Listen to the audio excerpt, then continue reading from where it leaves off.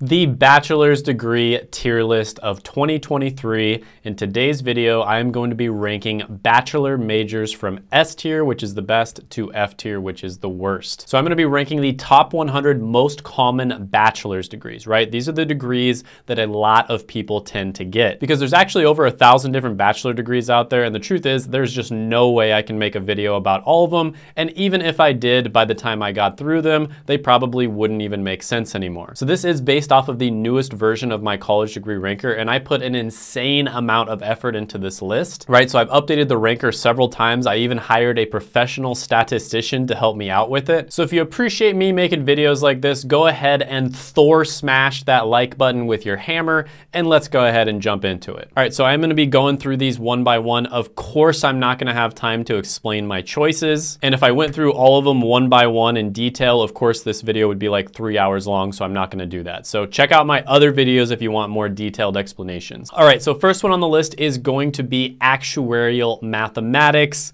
Um, I'll put the stats, the early career pay, mid-career pay, salary score, demand score, meaning, and the bachelor grads per year if I can find that if it's updated. So I'll put all that stuff up. Um, I'm probably gonna do it incredibly fast, so just go ahead and like pause the video if you need to look at that stuff. But yeah, actuarial mathematics, pretty good degree at the bachelor's level. I'll go ahead and put this one into A tier. Next one on the list is going to be business administration. So here's the stats up on the screen. This one is one of those degrees where you do see relatively decent numbers, but I do think it's a case of correlation and not causation. But with that being said, that's just my opinion, so take it with a grain of salt. There really is no way to accurately determine whether it's correlation or causation causation. Um, but this one I'll go ahead and put it into B tier. Next one on the list is nursing. Great degree. Uh, BSN is what it's called. I'll go ahead and put all the stats up for you. This one overall, I am gonna put it into S tier. Next one on the list is psychology. Um, this is one where at the bachelor's level, it's not very good, but if you go into it with the right plan, if you know that you're gonna have to get a master's at minimum and probably a doctorate, this one can be okay. But with that being said, so many people graduating with this one every year, 105,000. I'm gonna go ahead and put it into C tier. Next one on the list is going to be biology, another one that a ton of people graduate with every year. I would say this is one of the most, if not the most overrated degree because everybody says, oh, STEM degrees are great, STEM degrees are great. Well, the truth is a lot of the science degrees are not that great. So yeah, 73,000 graduates per year. This one is gonna go into D tier. Accounting is gonna be next on the list.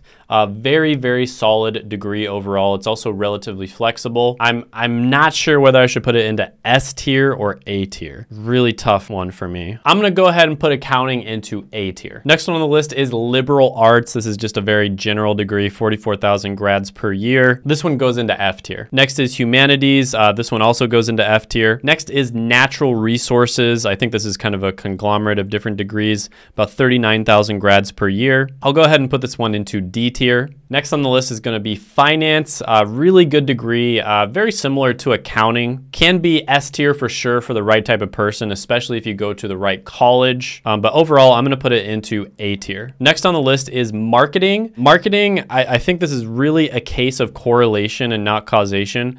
I think that there's just a ton of demand for people who have marketing skills, but that doesn't necessarily mean that college is going to be good at teaching you marketing skills. But with that being said, again, just my opinion, 35,000 grads per year, I'll put this one into A tier. Next one on the list is political science, one of the better liberal arts related and social science related degrees, 33,000 grads per year. I'll go ahead and put it into C tier. Next is government, very closely related to political science, um, but not quite the the same thing. I'm gonna put that one into D tier. Next on the list is mechanical engineering. Of course, engineering degrees are great. Mechanical engineering is one of the most flexible engineering degrees, 32,000 grads per year. This one goes into S tier. Next is English language. Uh, stats are not very good for this one. I'll go ahead and put it into D tier. Next is going to be economics. Uh, statistics here are relatively good. I'll put it in A tier. Next is going to be elementary education. Um, education degrees are good in that you're almost guaranteed to get a job, but they're bad in almost every other category. So education degrees go into C tier. Next is going to be sociology, about 27,000 grads per year. This one goes into D tier. Next is going to be kinesiology. At the bachelor's level, not a good degree at all. If you're planning on doing something at the master's master's or the doctorate level where kinesiology would help you, it can be okay. Um, but overall, I'll put it into D tier. Exercise science, uh, kind of the same thing at the bachelor's degree. It's just, it's terrible as a bachelor's degree. Um, if you are planning on doing something later on down the line, it can be okay. So I'll go ahead and put it into D tier. Liberal arts studies, um, you know, anything with the word studies in it, it's kind of a meme. 24,000 grads per year. This one goes into F tier. History is next on the list. History is probably my favorite subject personally but as a degree, especially at the bachelor's level, it is terrible. I'll go ahead and put it into F tier. Computer science, I don't think I need to say much about this one. Clearly S tier. Social work at the bachelor's level. You know, this one can be okay. Just know that you absolutely have to get like at least a master's, if not a doctorate. So this one I'm going to put into C tier. Information science is going to be next on the list. Anything information or data related is really good. I'll put this one into A tier. Mathematics is next on the list. Can sometimes be a little bit impractical, but overall the statistics are relatively good. Again, you kind of have to question correlation or causation with this one, but I'll put it into A tier. Electrical engineering is next one on the list. Super, super good degree. I'll put this into S tier. Electronics engineering is also pretty good. I'll put that one into S tier as well. Criminal justice is going to be next on the list. Um, this is one where ah, I have such mixed feelings about it because a lot of the career paths that you would go down don't actually require you to get a criminal justice degree. In fact, a lot of them don't even require you to have a bachelor's degree in general. But if you are trying to get a job that requires a bachelor's degree, you know what? I, I could see criminal justice being okay. Um, I'll go ahead and put that one into C tier. Next one on the list is criminal justice administration. I'll go ahead and put criminal justice into C tier. Next is going to be chemistry. Chemistry is actually pretty good for a science related degree especially. I'm debating whether I should put it in B tier or like low A. I'll be nice and I'll put it into A tier. General studies is next on the list. I mean, come on. General studies, are you kidding me? This one clearly goes into F tier. Civil engineering is gonna be next on the list. I'll go ahead and put this one into A tier. Early childhood education is next on the list. Um, the numbers are not very good here. I'll put this one into D tier. Health administration is gonna be next on the list. Again, numbers are not not too good. I'll put it into C tier. Journalism is gonna be next on the list. The numbers are surprisingly okay here, but again, you kind of have to question here, is it correlation or causation? I'm debating whether I should put it in C tier or a really low B tier. I'll be nice and I'll put it into B tier. Next one on the list is chemical engineering. This one is clearly a super good degree. It goes into S tier. Next is gonna be art history. Not a great degree at all, about 10,000 grads per year. This one I'm gonna put into F tier. Next is art. Also gonna put this one into F tier. Next is gonna be communications. I'll put communications into D tier. Next is mass communications, also goes into D tier. Next is gonna be information technology. So this is one where you can get into a lot of IT jobs without a bachelor's degree or even an associate's degree. But with that being said, getting a bachelor's degree is definitely not a bad idea. So I'll go ahead and put this one into A tier. Biochemistry is next on the list, and I'm debating whether this one should be B tier or A tier. I'm gonna go ahead and put it into B tier. Family studies is next on the list. This one clearly goes into F tier. Drama, clearly F tier. Theater arts, F tier. International relations, um, the statistics aren't too bad here, and this is kind of a dark horse one. It could be really good or it could be terrible in the future. I think this one you really have to plan it out, but I'll go ahead and put it into B tier. Anthropology is next on the list. Uh, this one, especially at the bachelor's level, is gonna go into F tier. Management informations is gonna be next on the list. My favorite business degree, this one is S tier. Gender studies is next on the list and do I even need to say anything? F tier, obviously. Criminology is gonna be next. This one, ah, man. Again, if you have a really good plan, it could be okay. Oh, I'm debating D or F tier for this one. I'll put it into D tier. I'll be nice. Music is going to be next on the list, F tier. Computer engineering is clearly S tier. Human services, uh, this one's F tier. Biomedical engineering, hmm. S tier or A tier? I'll go with A tier for that one. Same with bioengineering, uh, pretty similar, just slightly worse stats. I'll put that one into A tier. Physics is gonna be next on the list. Uh, this one is quite good, but again, it's probably a question of correlation or causation because people who are incredibly smart tend to go into physics and people who are incredibly smart tend to do really well in life in terms of finances. So I really don't know whether this one's correlation or causation, but I'm gonna put it into A tier. Next one on the list is human resource management. This is one where you can get into a lot of human resource jobs without getting this degree, but at the same time, the degree doesn't have terrible statistics. So I'm gonna put HRM into C tier. Next one is human resources, very similar to HRM. I'm also gonna put that one into C tier. It's slightly less good in terms of the numbers. Next on the list is environmental science. Now, what's interesting is there is a lot of stuff happening in the sustainability world right now. There's a ton of startups starting in sustainability and they are gonna need people who are good at that sort of thing. So this is definitely a dark horse candidate. And I think last year I might have put this one as like D tier or F tier, but I really do see some positive trends happening here. And so I am going to put environmental science into C tier this year. Next is public health. Uh, this is one where there are some jobs. It's kind of similar to teacher where you're probably going to be able to get a job, but you're going to be somewhat limited. So I'll put it into C tier. Next is physical education teaching.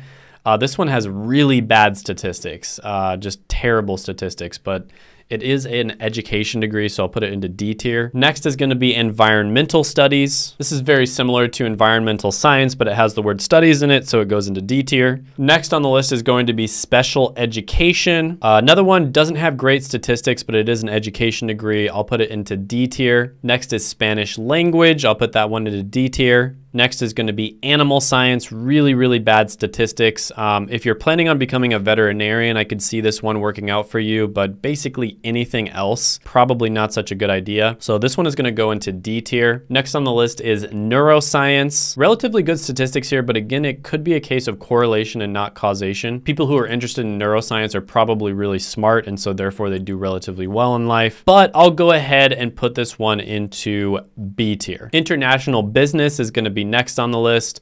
Uh, this is another one, kind of a dark horse candidate, could be really good or bad. I'll put it into B tier overall. Philosophy is going to be next on the list, and this one, in my opinion, is the clearest case of correlation and not causation. It actually has relatively good statistics, but people who are interested in philosophy tend to be very smart, and smart people tend to make more money over a lifetime. So I really don't think it has anything to do with philosophy actually helping you in your career, and I think it has everything to do with correlation. But with that being said, it does have good stats, so I have to put it into B tier. Next on the list is geology. Uh, this is another one with really good stats, and there are quite a few jobs out there for geologists, so I'll put this one into high B tier. Next is gonna be managerial economics. Relatively decent statistics. Um, this one is gonna go into low B tier. Next is industrial engineering, really great degree. I'll put this in S tier. Next is interdisciplinary studies.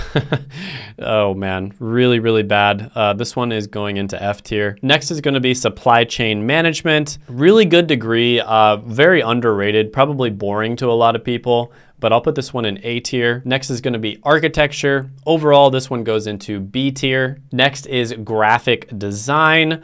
Statistics are actually somewhat okay with this one, um, so I'll go ahead and put it into C tier. Next is gonna be communication sciences and disorders. So if you're planning on going into a very specific career path, this could be okay, but anybody else, is not gonna be good. So I will put this one into D tier. Next is gonna be radio and television. This one goes into F tier. Next is gonna be video production. This one goes into D tier. Next is going to be advertising. Uh, this one I'm gonna put into B tier. Next is multimedia. This one goes into D tier. Next is aerospace engineering. Really good degree, very solid. I'm gonna put it into S tier. Next is gonna be aeronautical engineering, very similar to aerospace engineering. This one goes into A tier because the stats aren't as good. Next is gonna be athletic training. This one goes into D tier. Next is organizational leadership. I'm also gonna put this one into D tier. Next is exercise physiology. I'll put this one into D tier. Next is information systems security. Anything Anything with information in it uh, is pretty good. I'll put this into A tier. Next is going to be geography. Statistics on this one are actually relatively decent. So I will put geography into B tier. Next is going to be education. This one goes into C tier. Next is going to be cinema studies. This one goes into D tier. Next is going to be film studies. Same thing, goes into D tier. Next is going to be management sciences Relatively decent statistics here. I'll go ahead and put it into C tier. Next is going to be family and consumer science. This one goes into F tier. Next one on the list is going to be nutrition science. Uh, this one, decent statistics. Um, I will go ahead and put it into C tier. Next one on the list is going to not be a degree, and that is getting into careers that don't require a college degree. And one of those careers that I really love is going to be digital marketing. So I've interviewed a bunch of people on this channel, including a 16 year old named James, and he was able to get a $40,000 a year job in digital marketing, working only 30 hours per week, right? So if a 16 year old can do it without any education or previous experience, you can do it as well. And it's a really good career path. Typically, three to four years down the line, you're gonna hit that $100,000 a year mark. So alternative education and specifically digital marketing is gonna go into S plus tier. And if you wanna know how you can get into digital marketing yourself, go ahead, check out the free masterclass from my friend Seth, who has gotten thousands and thousands of people jobs in digital marketing. I will put that down in the description description as well as the pinned comment below. Don't go click on that video to check out that interview with James right now. You definitely don't want to miss out on it.